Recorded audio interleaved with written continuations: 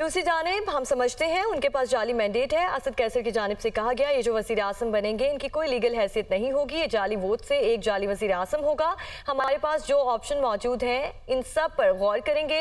हम तो एहतजाज ही कर सकते हैं, कानून के अंदर जो हक है, उस पर अमल करेंगे। असद कैसर ने मजीद क्या कहा, आपको सुनवाते हैं।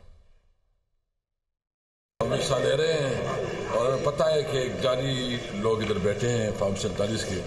लेकिन इसके बावजूद जो है ना, हम अपना हक भी इस्तेमाल करेंगे और एहतजाज भी करेंगे और आलात का मुकाबला भी करेंगे। जिस तरह अदालत को चलाया गया, यानी बारह बारह तरह तरह कभी आप लोगों ने ये ड्रामा देखा है कि इतने लंबी लंबी एक केस को किसी को सजा देने के लिए इतने चले?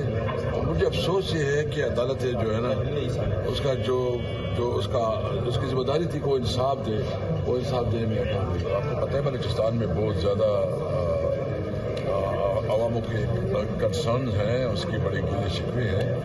और हम पाकिस्तानी की हैसियत से समझ रहे हैं कि बलूचिस्तान को अपने गले से लगाना चाहिए। उनकी जो शिकायत है शिकवे है, उसको दूर करना चाहिए, उसको इज़्ज़त देनी चाहिए।